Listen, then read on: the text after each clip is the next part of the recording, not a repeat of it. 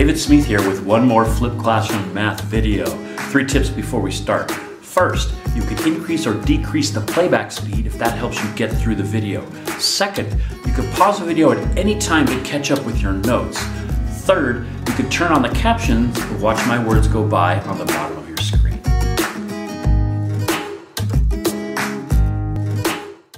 Today's lesson is the beginning in a series of lessons where we're going to cover trigonometric equations. We're going to use some identities in there and we're going to solve trigonometric equations. So let's start with a really straightforward one. We have sine theta equals 0.6. So we want to find out what theta is for the range of angles between 0 and 360 degrees. So let's take a look at the first easiest one to find. Remember, when you know what sine theta equals, you can take the inverse of the value and that will give you theta. So go ahead and pull out your calculator. You're going to need to do a bunch of calculations with this video and find out what theta equal. All right, so if you did that successfully, if your calculator was set to degrees, then you got 36.9 degrees. Woohoo! Are we done? No, because here's our range. We want to find all of the values of theta for which sine theta is 36.9 degrees. Now, if you want a little bit of critical thinking stretching, go ahead and pause the video and find one more. And maybe think about the last lesson that we had in this class. All right, so here's a unit circle diagram with my 36.9 degrees. And then you remember, sine of the angle is this distance there.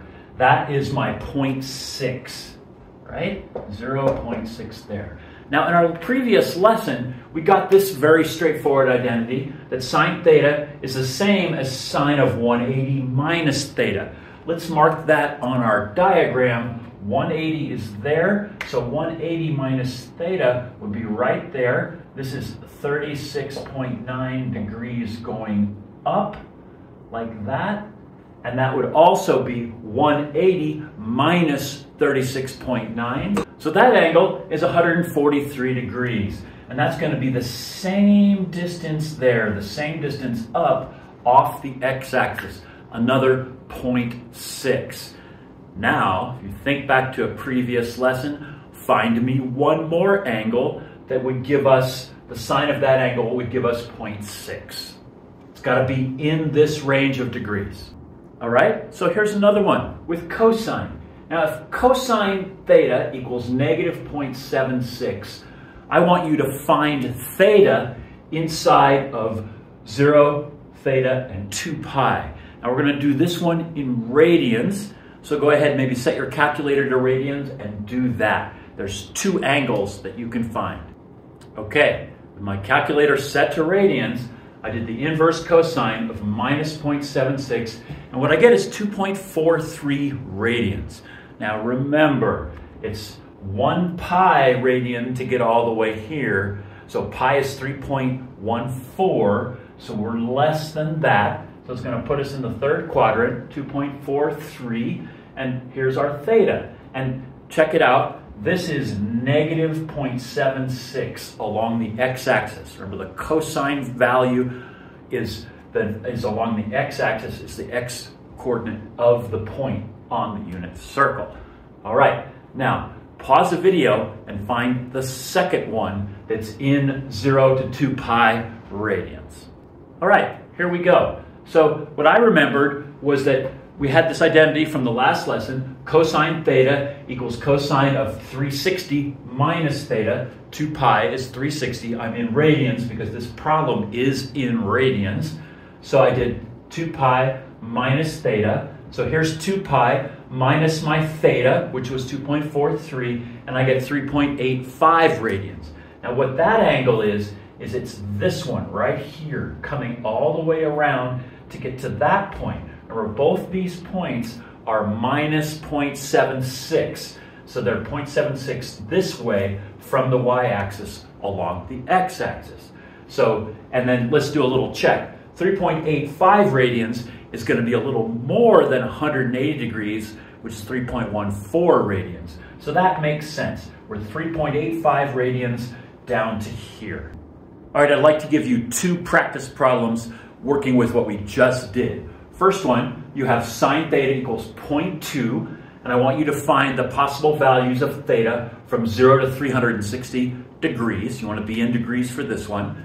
And then this one is cosine theta equals 0.15 between 0 and 2 pi radians.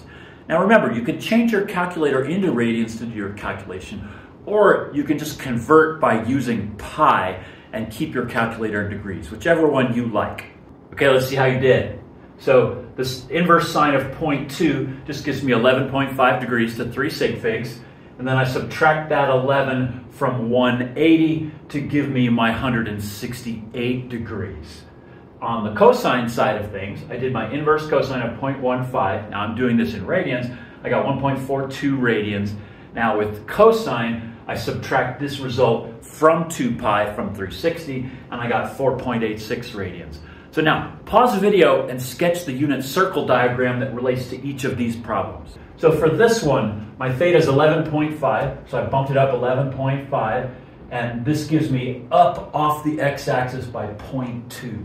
So my other angle is also going to be up off the x-axis by that same amount. So my theta is here. So these are 11.5, and then this angle measured all the way around is 180 minus 11.5. Okay, so that's the one with the sine function. Now the cosine function is a little different because we're dealing with the x value. So um, cosine of 0.15 gives me a 1.42 radians. So that's pretty far up, but not to 90 degrees. So here's that theta, and here's my 0.15. We've gone 0.15 to the right of the y-axis. And so then what I did is I did my 2 pi, my 360 minus that 1.42, which is this way. So my other theta is measuring this angle here, and again, we're 0.15 to the right of the y-axis. All right, so let's do a little bit more algebra with solving some trigonometric equations. So what I have here is 2 cosine theta minus 1 equals 0. And we're going to solve for theta being between 0 and 2 pi, or between 0 and 360. So we're going to use some algebra here. Let's move 1 over to both sides. So I have 2 cosine theta equals 1. Divide by 2. Cosine theta equals 1 half. Take the inverse cosine of 1 half. Cosine inverse of 1 half equals theta pull out your calculator, find that theta, and then see if you can find the other values of theta that also work for theta between 0 and 2 pi, and put your values in radians. Okay, let's see how you did. I used my calculator in degrees on this one, and I did uh, cosine inverse of 1 half. I got 60 degrees. Then I look at my unit circle, and I can tell that 60 degrees is pi over 3 radians. Remember, as you go around the unit circle, every 30 degrees is pi over 6. So 30 degrees is pi over 6, 60 degrees is pi over 3, 90 is pi over 2, and so on. I want to return to this uh, trigonometric identity that we covered in a previous lesson, and that's sine squared theta plus cosine squared theta equals 1. Now there's two versions of this identity that you're going to find helpful. If we subtract cosine theta from both sides, we have sine squared theta equals 1 minus cosine squared theta. And by the same token, if we subtract sine squared theta from both sides, we get cosine squared theta equals 1 minus sine squared theta. Now, these two kind of sub-identities are useful. You can use them as substitutions when you're manipulating a trigonometric equation with algebra. So let's do an example where this comes into play. All right, let's solve a complex trigonometric equation. So here we are, minus 2 cosine squared x minus sine x plus 1 equals 0 on x is between 0 and 4 pi. So x is in radians, and we're going to just treat it like a variable in our equation. All right, so now we're going to need to take a look at this. I've got two trigonometric functions that are different. I'd like to make them the same. That's a nice little trick. And I do have cosine squared x. So remember, that's 1 minus sine squared x. So I can do minus 2 times 1 minus sine squared x minus sine x plus 1 equals 0. So all I did is I substituted 1 minus sine squared x for cosine squared x. Now let's go ahead and distribute my 2. I have a minus 2 plus 2 sine squared x minus sine x plus 1 equals 0. I have a negative 2 and a plus 1. So now I'm going to go ahead and move the constant over here. I have 2 sine squared x minus sine x minus 1 equals 0. All right, so now your next step here is a little bit tricky. I'm going to give you a prompt, a hint, and see if you can do this. We're going to need to factor this. This is a quadratic equation. We have twice something squared minus the something minus 1 equals 0. So dig into your knowledge for solving and factoring quadratic equations and see what you get. Okay, I broke this out for you. Here it is just written as a quadratic like you might be familiar with. So instead of throwing the sine squared in there and the sine, I just got rid of that and just called it x. So we've got is 2x squared minus x minus 1 equals 0. That factors down to 2x plus 1 times x minus 1. So use this pattern to rewrite this expression in that way. All right, so converting this to this, the factored form, following that pattern gives me 2 sine x plus 1 times sine x minus 1 equals 0. Now, if you remember your quadratics, we do a branch to finish solving. So this one is going to be 2 sine x plus 1 equals 0, and this one's going to be sine x minus 1 equals 0. So go ahead and pause the video and solve these for sine x. All right, so these algebraic steps are pretty straightforward. I just isolated my sine x. For this one, I get sine x equals 1 half, and this one I get sine x equals 1. Now you're going to need to do a little critical thinking step. In radians, what are the values of x that satisfy this one and satisfy this one on 0 to 4 pi? So that's two revolutions around the unit circle. Now this can be tricky, so let me show you how this worked out. I just did my sine inverse, I stayed in degrees, I did my sine inverse of negative 1 half and I get minus 30. Then I jump over to the unit circle to look at what minus 30 is. That's this. It's 30 degrees down from the x-axis. And sine x is minus 1 half, so that means that this distance here is negative 1 half. So that makes sense. That's what we've done, so we've come down. So now we have this other one here, which is also minus 1 half. So this is going to be 30 below the x-axis, so that's 180 all the way around plus another 30. So that one is 210. So this one is not part of our solution because the range is between 0 and 4 pi. That means no negative angles. So we don't want 30. We want 210 and then this one, whatever that's going to be, and then a whole other cycle. So this one and then that one. There's going to be four angles that solve that. Now, since it specified our range in radians, we want to give our answer in radians. So remember, 180 is pi radians. So we're going to 210. 180 is 6 pi over 6. So this one's going to be 7 pi over 6.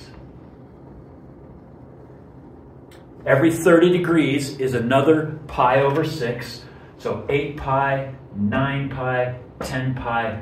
That one's 11 pi over 6 and then go ahead and do the remaining two.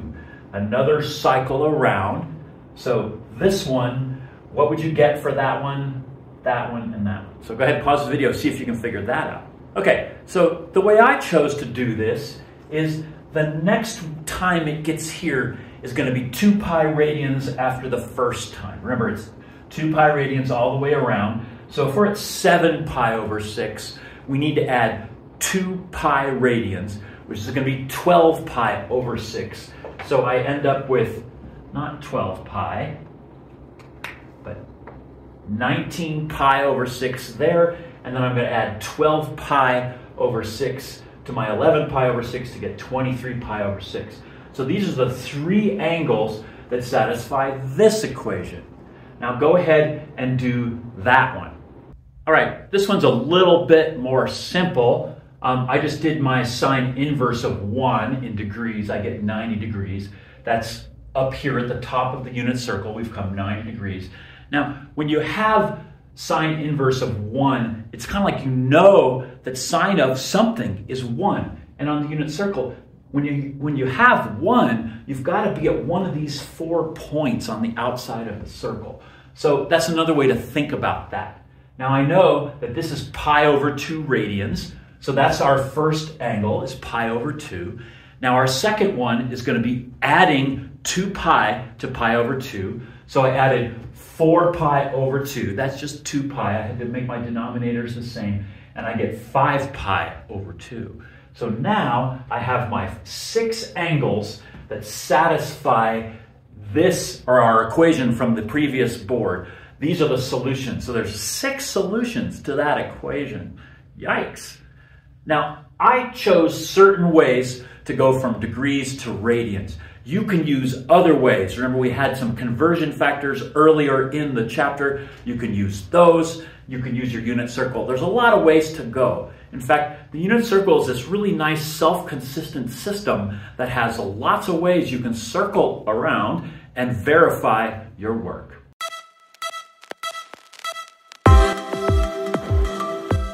Now that you've watched the video, take a moment to jot down any remaining questions so you can bring them to our next class. Remember, you can also come back to this video again and watch it for deeper understanding. If you liked or enjoyed the video, please click like or subscribe down below.